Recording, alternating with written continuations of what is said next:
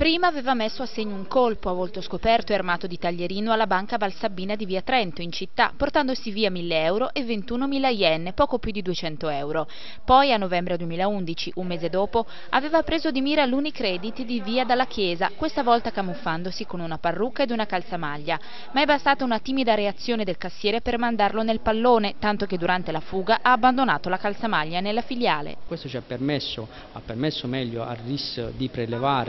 un una, uh, una traccia biologica eh, che è confrontata con uh, un tampone salivare preso dal, dal, sospettato ci ha permesso di addivenire, di trovare la prova regina che è quella del DNA attribuendo una responsabilità precisa e chiara al soggetto. A finire in carcere per mano dei carabinieri della stazione di Sant'Eustachio è stato Francesco Perretta, 41 anni, bresciano, nulla facente, residente in città con alle spalle diversi precedenti e intanto a Brescia i rapinatori di banche hanno rallentato il ritmo. Dai dati che abbiamo in possesso, considerato il primo quadrimestre, eh, abbiamo una netta diminuzione delle rapine in banca, nel primo quadrimestre di quest'anno ce ne risulta soltanto una, mentre nello stesso periodo dell'anno scorso erano già sette.